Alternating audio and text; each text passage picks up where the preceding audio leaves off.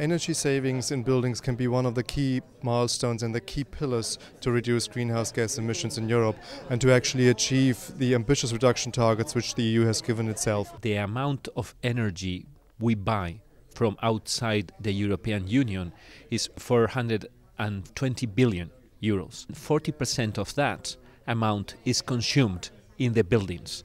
So if we save a significant percentage of this 40%, we will save 100 billion euros per year. If we renovate buildings, we have cost effective measures to reduce the energy consumption dramatically. But there are many obstacles, and we need to address these obstacles. The policymakers are have misconceptions about the upfront cost. They don't think long term. There's a very strong bias toward short term this is partly a political, I mean, they're in office for a number of years. If we would heavily invest into the renovation of the building stock, it would be really an economic stimulus. A known study which BPIE did last year came to the conclusion that we can easily generate over 1 million jobs per year for a 40 year period. So you could really employ 1 million people for their whole lifetime. In Germany, we have a KfW program supporting building renovation.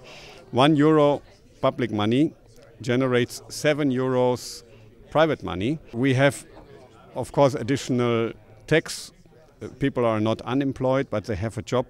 And this is a business case also for the finance minister. The new Energy Efficiency Directive, for example, foresees that member states have to develop renovation roadmaps.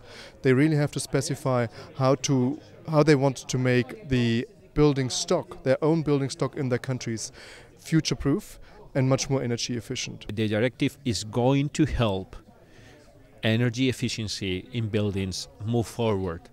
And the more ambitious the directive is, the better is, is going to be for the energy consumption, the energy spending in Europe. The directive is an important step.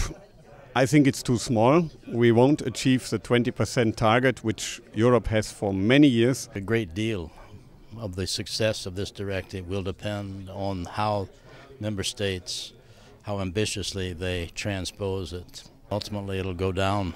As far as buildings, it's very much a local or regional and then a local issue. I think there's a lot of opportunities for industry, for NGOs, for national parliamentarians and European parliamentarians to, to watch what member states are doing. And if they just do nothing, definitely we have a case to intervene. There is a problem with energy efficiency now. It's uh, partly due to the current economic crisis, high unemployment.